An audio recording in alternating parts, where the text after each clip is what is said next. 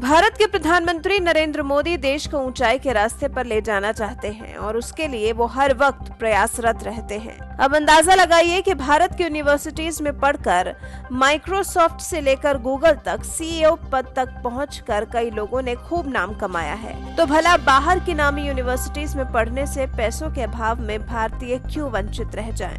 इसके लिए प्रधानमंत्री ने एक तरकीब खोज निकाली है अब भारत के प्रधानमंत्री चाहते हैं कि येल ऑक्सफोर्ड और स्टेनफोर्ड जैसे विश्वविख्यात विश्वविद्यालय भारत में आकर अपने कैंपस खोलें, ताकि उनसे प्रतिस्पर्धा कर भारतीय यूनिवर्सिटी और बेहतर तरीके से काम कर सके।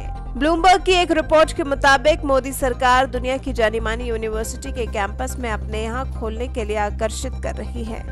मानसून सत्र के दौरान ही जब इस बात की चर्चा चली थी तो लिखित जवाब में शिक्षा मंत्री पोखरियाल निशंक ने बताया था कि भारत से करीब साढ़े सात लाख स्टूडेंट्स विदेश में पढ़ाई के लिए जाते हैं और हर साल करीब पंद्रह अरब डॉलर खर्च करते हैं।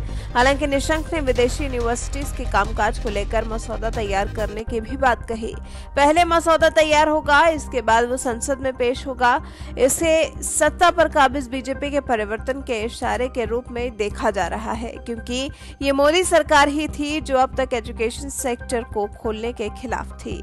ऑस्ट्रेलिया सरकार और कुछ यूनिवर्सिटीज की तरफ़ से प्रस्ताव पर रुचि दिखाई जाने का ज़िक्र करते हुए निशंक ने कहा, इसे लेकर बहुत ज़्यादा उत्साह है।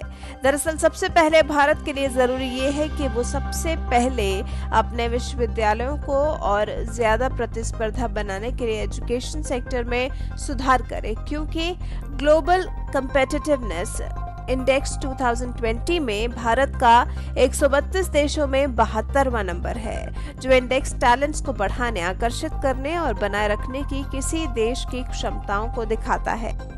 परेशानियों की बात करें तो भारत में विदेशी यूनिवर्सिटीज को स्थापित करने के लिए सबसे मुख्य धारा जटिल नौकरशाही है। फिर ज़मीन अधिग्रहण में कठिनाई एकेडमिक स्टाफ और पर्याप्त इंफ्रास्ट्रक्चर की चुनौतियाँ भी हैं। हालाँकि अभी मंत्री निशंक की तरफ़ से ये भी साफ़ नहीं किया गया है कि विदेशी यूनिवर्सिटीज को आकर्षित करने के लिए भारत से कौन से कदम उठाए जा रहे हैं। लेकिन ये ज़रूर बताया कि जो संस्थान नॉट फॉर प्रॉफिट आधार पर यहाँ अपनी शाखाएँ खोलना चाहती हैं, उन्हें सरकारी संस्थानों के साथ साझेदारी करनी होगी।